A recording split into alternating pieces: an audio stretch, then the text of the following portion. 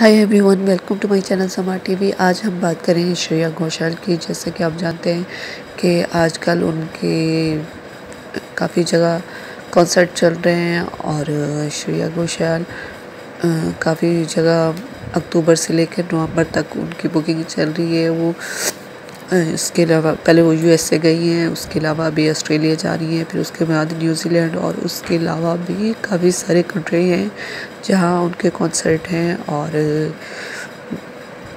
उन्होंने जाना है, उनकी बुकिंग है। तो हम आपके साथ उनकी चंद पिक्स और वीडियो शेयर कर रहे हैं। उसके अलावा आपके आपको दिखाएँगे कि उन्होंने बैक स्टेज कैसे मस्ती मज़ाक किए।